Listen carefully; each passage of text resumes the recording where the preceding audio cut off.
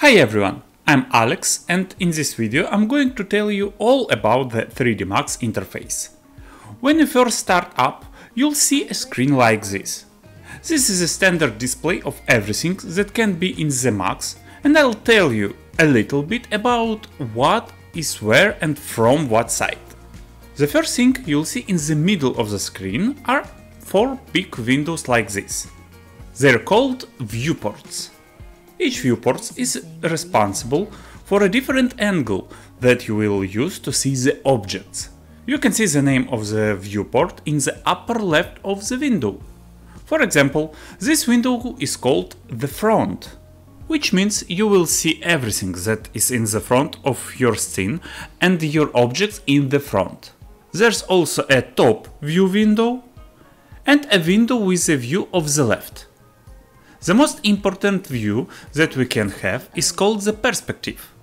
This is the perspective that you're going to be working from most often in your scene and you're going to use the perspective uh, to figure out where things are and how to manipulate those objects. To manipulate this window, all you have to do is use the wheel and spin it toward to you and away from you and you get closer or farther away from your scene. You can also press Alt and the mouse wheel to scroll around the existing scene. You can press Ctrl and the mouse wheel to move the left or right of the scene. In this way you will move relative to your scene. To switch between these windows, just left click in that window and you will switch to the selection of that window. I can go to the top and move the wheel left to right. Go to the left by pressing the left mouse button and then I can click the wheel and move left to right. So I'll just change the window to work in. You have the same scene, but you just change the viewing window. Also in the interface we have a right panel called the command panel, where you can set some basic commands or create objects. By standard you should have a window like this. So you can uh, create a set of standard primitives. For example, it could be a sphere. To create a sphere we select it with the left mouse button, you get some parameters for it and now while the sphere button is lit in blue, we can create the sphere. I would create it in perspective window. As I just said, that's where we're most likely to work. In order to do it on this existing grid here, all you have to do is hold down the left mouse button and pull the mouse to the side as the sphere is created. But still while the sphere button is lit in blue, this means that we will go on and on creating sphere. So I can click the left mouse button again and pull, pull again and again. And each time a new object will be created. You can see all these objects from different angles. Here is the top view, here is the front view, here and on the left side you can see all the objects. You can see that they're organized and you can see that they're standing next to each other. To stop creating spheres and exit this creation mode, all you have to do is right click in the perspective. Click and that's all. You can see that the sphere is no longer lit blue, which means that we are not creating objects. And at this stage we can, for example, select them to do some manipulations with them. Also, in the interface we have a list of all the objects that are present in your scene. For example, we have here a sphere 0, 1, 0, 2, 0, 3 and we can see everything that we have here right now. But in full scenes it can be thousands of objects and tens of thousands of objects.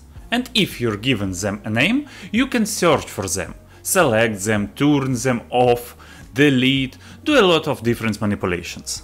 At the top of the screen you can see the tabs File, Edits, Tools, Group. They are all called tabs. There are a lot of functions that you can't just find. I mean they won't be in the command panel and you can use keyboard shortcuts to call them. But most of them can actually be invoked in some way. In a faster way, you should refer here only if you need really specific things. For example, if you need to go to the parameters of the old 3D Max and see what you can do with it. Or to load some plugins, but that's a whole other story. Underneath them, these arrows, these chains, these circles, these uh, dot and squares, these are all the tools and the bindings and extra functions. So you can do a lot of different processes here. Which is really cool, you can customize this menu. But you can also use it as a quick access to something, like these two arrows, select and move, is a tool of course, for selecting and moving, hotkey W, but we can select it with the mouse. And now when we select any object, we'll have these arrows and you can grab those arrows and uh, you can move the object, so we can manipulate it. If you want to go back to the tool you had, it's just a select tool. You have to select this button here called select object, just by clicking on it. Now we'll be able to just select an object, click, click, click. I also have this panel underneath, them with camera, light, sunshine. You may not have that because it's an additional panel, like I said, they can be customized. And that's from the individual plugins that I've left. I can add or remove buttons for quicker access. Underneath our viewports there is a ruler like this. This an animation timeline. You can use it to record any animation you want to play. It can be from uh, something complex like a character movement, it could be a character jumping, a character running, or something as simple as moving the camera from point A to point B in order to fly around an object, to look at it from different angles and display it as full of video rather than a static image. Also at the bottom you can use the little menu. There's a locker and a target and uh, an XYZ value. These are the coordinates of your object and the values in the space of your objects. For example, we can go back to the move tool and now when I select an object we can see its position in your scene, in all the XYZ axes. By clicking on each object, each object will have its own parameters. For example, you can see that all of them have a z of 0. But if I take the blue arrow here and move the sphere a little bit, I can see that z immediately changed, because I changed the position of this object on this axis. You can also write here the values you want. For example, I can write exactly 17. Enter and the object became at coordinates 17 on z, which can also be interesting, especially when specifying more precise coordinates and positioning of objects. I will talk about each of the buttons in more details in the next videos, but for now, it's worth understanding that this menu will help you navigate and slightly align objects in the position you want. But for now, it's worth understanding that this menu will help you navigate and slightly align objects in the position you want, either in the scale you want or rotation angle. To the right are buttons that are probably in every player. They allow you to work with this ruler, the animation timeline. So I can press play and my animation uh, timeline starts playing. But it's trying to play animation. There is no animation yet, but still this animation bar starts moving. I can stop, I can start, I can rewind to the end, rewind to the beginning. Basic actions for animated processes. And on the right side there are additional buttons. That's creating keys and uh, that's also for animation. More right, these are different manipulations of your viewport, like zoom in, zoom out, and customize the angles that you need.